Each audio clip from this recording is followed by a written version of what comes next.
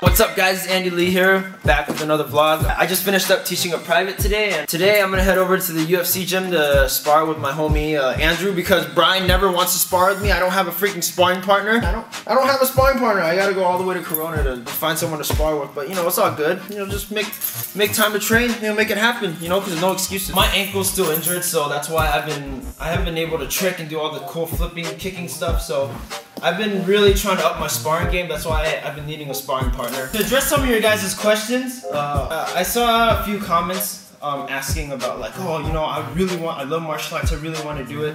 Like, how do I do it for a living? And just let me spit the truth at you from my personal standpoint. I think unless you're like a working stuntman, like working like, you know, full union rates and whatnot, I think it's pretty hard to make a living out of martial arts because for one martial arts is it's going extinct and no one really cares about it anymore it's really hard to capitalize on it and make a living out of it for me in my case um, as you can see i'm a part-time coach i'm i'm, I'm teaching part-time i'm a part-time stuntman and then with the little YouTube revenue I have, like I'm barely making enough. That's from my standpoint. Eventually, of course, like I really want to capitalize more on YouTube. That would be the dream, make videos for you guys.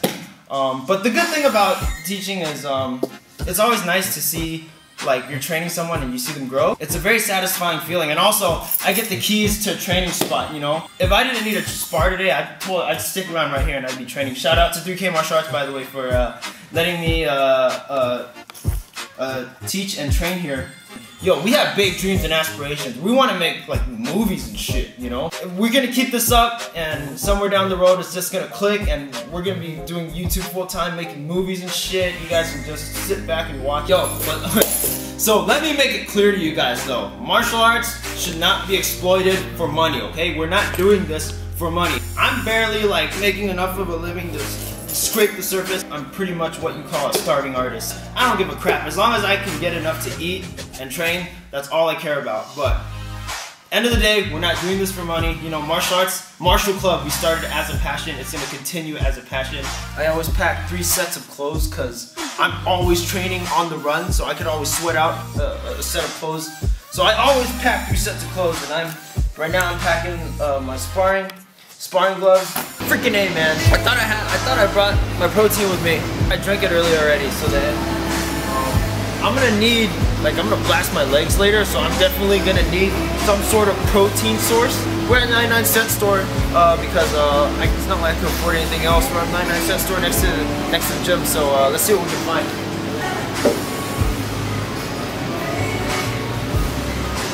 Oh, now this Greek yogurt two of these for 99 cents. There's 9 grams of protein in, in one of them, so that's 18 grams for a dollar. I'm gonna get four, maybe six, because I'm blast my legs, and I'm gonna need a lot of protein. I have to eat it right now. I mean, eat it later. For post-workout, it's gonna be all warm and shit. It's gonna be nasty. So I have to eat it now. The shit I do for my training, right? Yeah. So I do it, it happen. I'm eating in the damn locker room. Nasty. I know today. I'm here at UFC gym with my, my homie Andrew. He came through for me. You know, he came to spar with me, unlike Brian.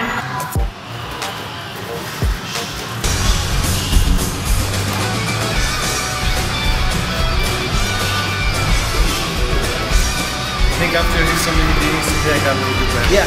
See, he he trained earlier today. I got like crazy dude. Yeah, he got better from it. But I'm getting my ass whipped now. You guys know my forte is exploring. Oh, that's why it's always humbling when you're training with someone else who's who's better than you at a, another another round. You need to humble. Yeah, you, you train for it. You know, you learn, you grow. That's why we do it.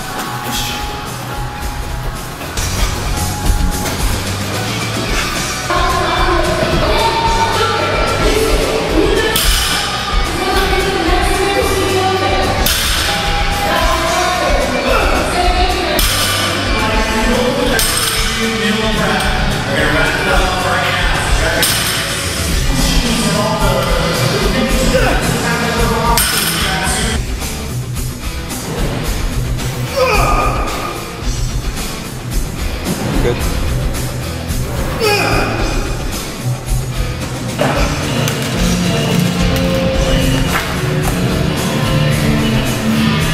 Nice. Warrior spirit. I hope you guys enjoyed today's vlog. We'll always take you guys on our journey in the martial arts. You guys will see our growth and progress and you know definitely stay tuned we're upping our content. Hope you guys are having a good new year because this year is going to be a good year for martial club. Don't forget to comment like and subscribe all that good stuff and martial club signing out